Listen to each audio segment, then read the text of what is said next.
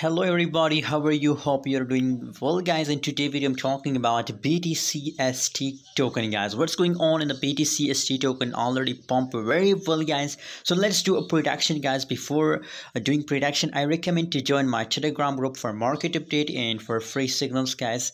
Uh, in this video uh, let's see 26.22% BTCST token pump in the last 24 hour 11.35 is the highest and 8.59 is the lowest of last 24 hours so big possibilities of BTCST token that it will pump guys. But you know uh, you know already the market pumps very highly. So you know now according to the current situation of a market of BTCST token uh, my prediction is going negative and I believe guys that now I think the dump is start. Because if we see here the market is going uh, to break this uh, support line guys. And trying to make a lower low guys.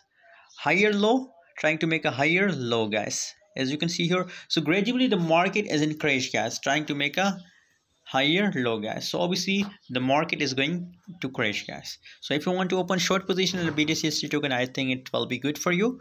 By the way do your own research before buying any coin. See you in next video. Join telegram group for market update